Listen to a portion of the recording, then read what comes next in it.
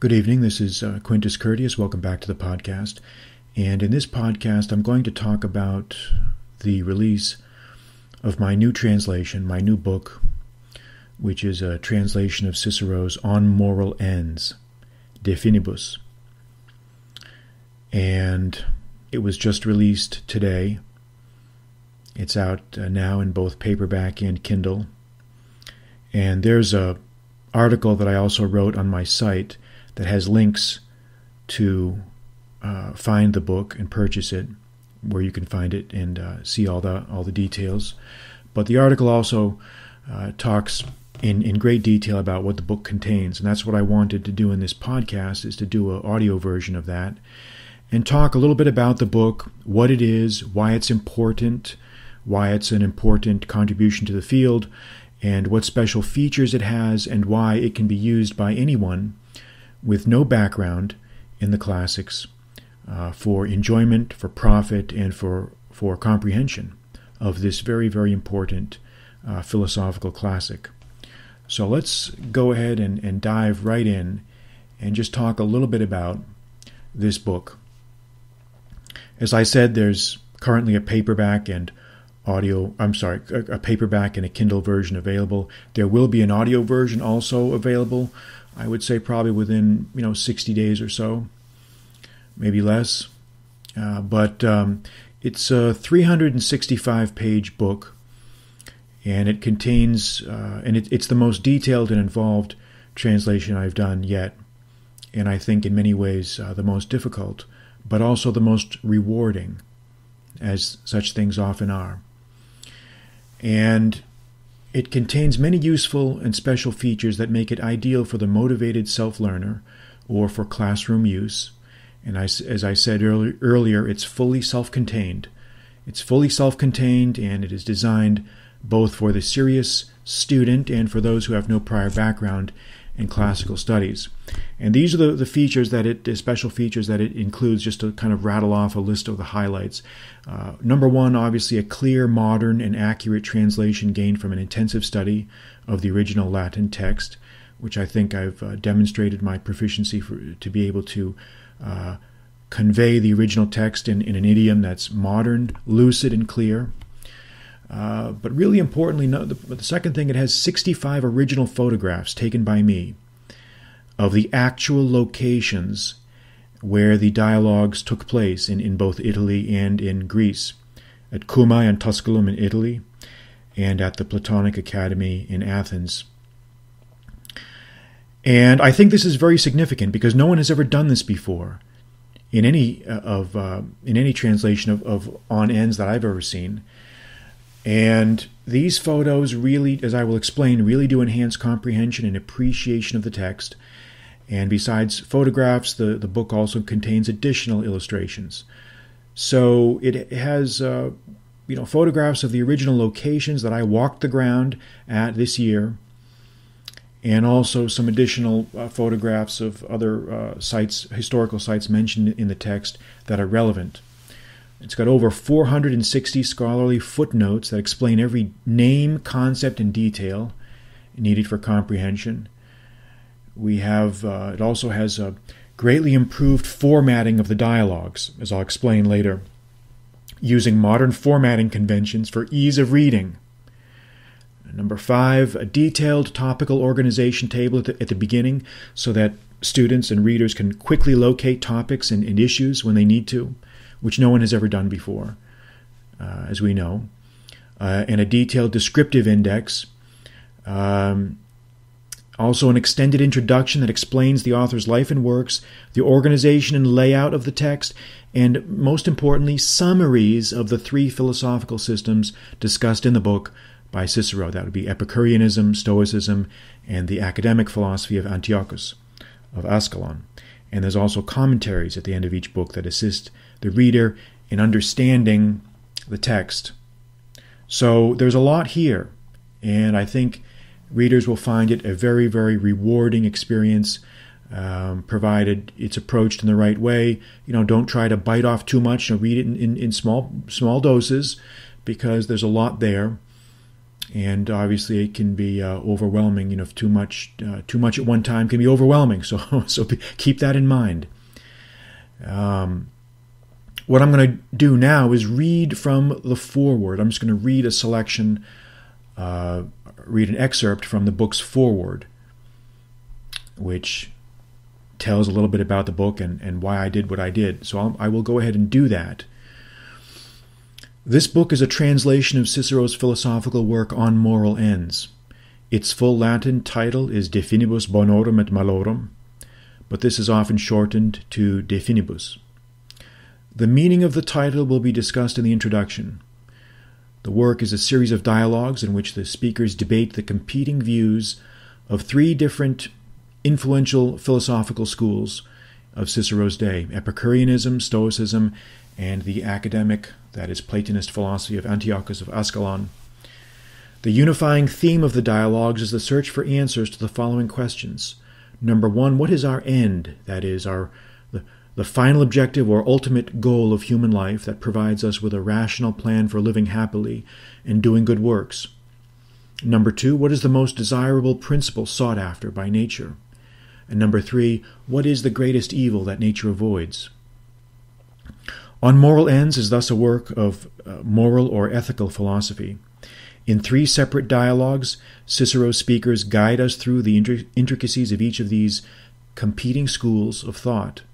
We thereby hear proposed answers to the questions noted above. The beauty and value of the work lies not so much in its conclusions, for these are open to differing interpretations, but rather in how each speaker argues his corner and makes his case. It is a rigorous treatise, and perhaps Cicero's most intensely focused, but the rewards it offers are beyond valuation. If the reader can complete the journey to the end of the fifth book, he or she will have gained a deep and nuanced appreciation of some of life's most fundamental questions. Cicero's passion for the subject matter shine through uh, on every page and help make the reader's sojourn a memorable and moving experience. This foreword will explain the special features included in this book. The introduction that follows it will provide background information essential for an understanding of the text of On Moral Ends. My goal was to produce an English rendition of the Latin text that would be as clear, modern, and faithful to the original as possible. On Moral Ends is a detailed and sometimes technical work, yet also frequently conversational and argumentative. It rises to soaring and inspiring eloquence, especially, especially in Book 5. The translator must be able to articulate these divergent literary qualities in modern, lucid English. It is his responsibility to convey the flavor of Cicero's elegant Latin through the use of appropriate English idiom, phrasing, sentence structure, rhythm, and overall tone. If an original author is eloquent, passionate, and disputatious, then his translator must try to convey these qualities using the tools his own language gives him. Translators love to talk about translating, and I am no exception. We are fond of pronouncing our theories of translation and reminding readers of the difficulties we have overcome. Every sculptor is proud of his chisel, and every painter defensive of his brush. Translation is an interpretive art, one is conveying words, ideas, idioms, and rhetorical flavors from one verbal universe to another. The translator must not only know his text well, but he must know his author well. He must be attuned to his likes, dislikes, peccadillos, personality, and idiosyncrasies. I believe an original text should be preserved in form and spirit by a careful attention to its rhetorical style, grammatical, grammatical constructions, and idiomatic peculiarities. When a literary work in Latin or any other language is translated into English, all of English's flexible tools must be deployed with these purposes in mind. The act of translation must challenge and, I am not afraid to say it, torment the translator, so that he or she is forced to invent novel structures, phrases, and stylistic devices to evoke a different world. Brute labor must be enlightened by bursts of innovative creativity. But this is not all. In a serious and detailed philosophical work, it is important to present the text in a way that enhances understanding. Too often, translators of classical literature have failed to appreciate just how much a text's appearance, formatting, and presentation can contribute to or detract from a reader's comprehension. As I explain below, I have opted to use modern conventions in the formatting of the dialogues. It is often forgotten that On Moral Ends is, after all, a series of dialogues. It was written as a set of dialogues, and we should read it as such. Its interpretation should begin from this reference point. Some editors of classical texts choose to format dialogues such that the successive statements and responses of speakers are placed alongside each other, one after the other, in single cumbersome paragraphs.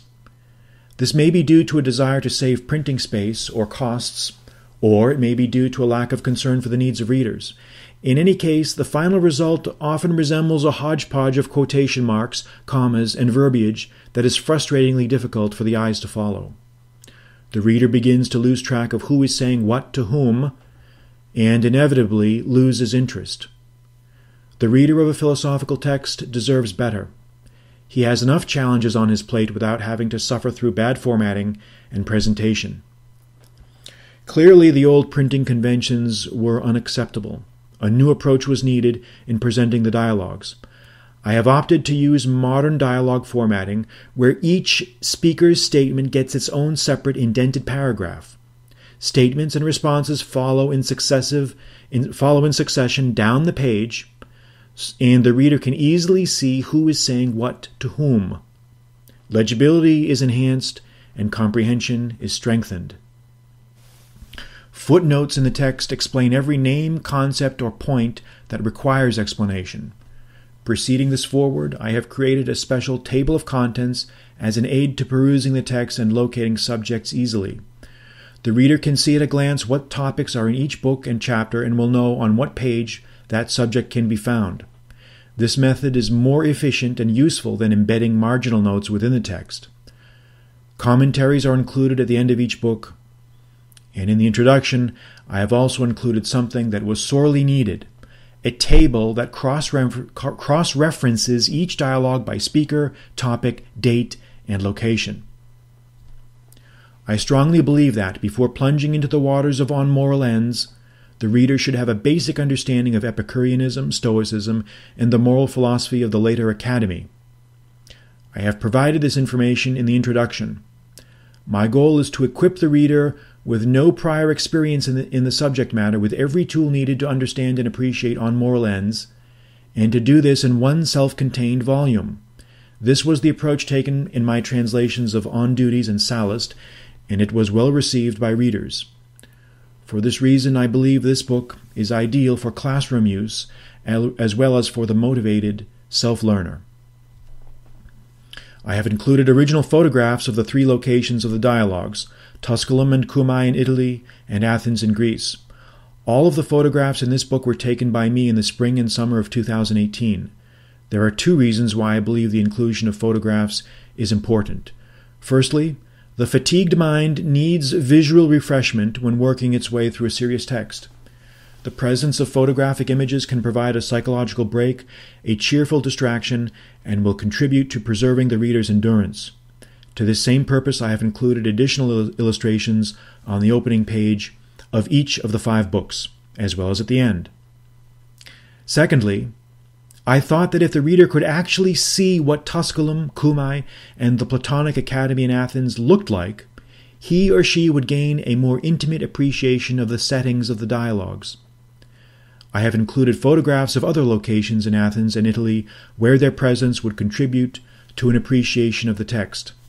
Thus the reader will find images of Italy's Amalfi coast, the Dipylon Gate in Athens, mentioned in Book 5, Section 1, Aristotle's Lyceum, the home of the Peripatetics, Kerameikos, the temple of the Olympian Zeus, and the Roman Agora in Athens.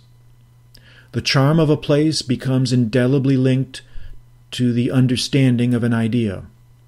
As Cicero himself says in Book 5, Section 4, Quote, the intangible spirit that resides in the former haunts of great men evokes their memories with more clarity and resonance. We very much agree with him. If we can see what a place looked like, if we can get a sense of the terrain, then we will add something special and intangible to our comprehension. Perhaps the reader will bear with me as I explain these pilgrimages. I visited the secluded ruins of Tusculum in May 2018. It is located in the beautiful Alban Hills outside Rome, and to get there, I took a train from Rome to Frascati in the early morning, then walked along winding roads for about an hour to reach the site. The conditions for such a visit could not have been more ideal. The weather was pristine, the spot almost deserted, and an archaeological dig happened to be in progress. As I walked about Tusculum, I happened to see an exposed skull lying in view in one of the pits, which to me was a startling reminder of the Stoic admonition to remember our own mortality. As the reader will see from the photographs in the text, Tusculum is a tranquil and secluded place, an ideal setting for a gathering of friends to talk philosophy. Cicero's villa there must have been a restful escape from the fury of Roman politics. Several days later, I drove with a friend to Naples, seeing the Amalfi coast along the way. We explored the impressive ruins of Cumae, with its strange mixture of seaside charm and prophetic gravity. After all these centuries, one feels that the cave of the Sibyl still jealously guards its secrets. Athens I visited in 2000, August 2018. The dialogue in Book 5 takes place at the site of the Platonic Academy, and it was this hallowed ground that I needed to visit. It turned out to be a very short walk, first along Eleusinian Street, then Lenormand, then Alexandrias, and then finally the ground of the old academy itself. The ruins are located in a public park in a residential area. In early morning, early morning it is serene and quiet, with dog walkers, joggers, and elderly people starting their days. We are told that the site was only discovered in the, in the 20th century. Before that, scholars had a general idea of its location, but not a precise one. In classical times, it was located in the midst of groves away from the city. Now, of course, it is within the city, since Athens has expanded to absorb it. The only site that was marked was that of the old gymnasium. The palæstra dates from a later period, probably the first century AD. There was even a cistern for the students bathing. Book learning and physical fitness went hand in hand, a lesson that should not be lost on us today. The site is still largely unmarked. It deserves restoration, but this is likely to have to wait future generations. It appears to me that the Academy uh, originally had different clusters of buildings, possibly lecture halls, classrooms, or libraries. As I walked the grounds, I indulged my romantic impulses with some fanciful musings. O stones, ye have here rested three and twenty centuries. Ye sturdily kept a continent's foundation when Europe was young. Ye heard the laughter of youth, the pleas of truth's seekers, and the disputations of the great. You have witnessed the Master speak of the divine forms, and of the secrets of their emanations.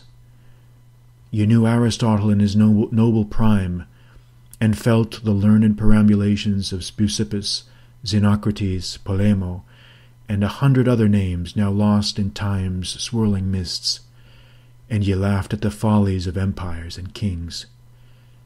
Speak, ye stones, and say what secret lieth within ye. There was no response, of course. Yet as I walked through the place, the bees still hummed about the ruins, and the birds, engrossed in their domestic tasks, still tweeted and chirped, and the academy still rioted with tangled foliage and brambles. Life has inherited the academy. Its stones speak not, but the living world surrounds and envelops them, and speaks for them in its own reverential tones. And so we may say that the academy is, in its own way, still alive. It lives in accordance with nature. And as I left the place, I reflected much on these things. Every era needs instruction on how to live. We desire counsel on what is important and what is not. We wish to know what our ultimate goals and purposes should be in this life, and how such goals may be attained. Modern science, as we know, continues to advance so rapidly that we feel imprisoned in a perpetual state of bewilderment. We have come to expect dislocating surprises around nearly every corner. Science has achieved undoubted glories in the advancement of health, the banishment of disease, and the understanding of the natural world. And yet, despite all this, we feel keenly the fraying of the social fabric, the marginalization of ancient institutions, and the steady replacement of the solace provided by community and neighbor with the frightening atomization of the individual. These are not insignificant problems. What is needed, perhaps, is rigorous instruction on the science of living life and the importance of virtue. As, as Leo Tolstoy once noted, people must live, but in order to live, they must know how to live. And men have always obtained this knowledge, well or ill, and in conformity with it have lived and progressed. And this knowledge of how men should live has, from the days of Moses, Solon, and Confucius, always been considered a science, the very essence of science. And this is really what more On Moral Ends is about. The book rises to this challenge and gives us this crucial instruction. We may not agree with some of its conclusions, but what matters is how it arrives at those conclusions. Our exposure to its methods stimulates the engine of character development. And this really is what On Moral Ends is about. So I would encourage you to take a look and to check the work out. And any further questions or comments on On Moral Ends may be directed to me at my email address at uh, qcurtius at gmail.com. That will be all for today. I'm Quintus Curtius. Good night.